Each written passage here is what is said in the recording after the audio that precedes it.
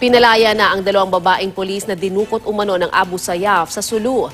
Kinumpirma yan ni PNP Chief Director General Oscar Albayalde. Anya iniulat sa kanila ng Regional Director sa lugar na ang dalawang biktima at kasama na ng mga tauhan ni Governor Sakurtan at patungo na sa bahay ng gobernador. Hindi pa raw malinaw kung paano pinalaya ang dalawang bihag. Sasailalim daw muna ang dalawa sa medical treatment at debriefing.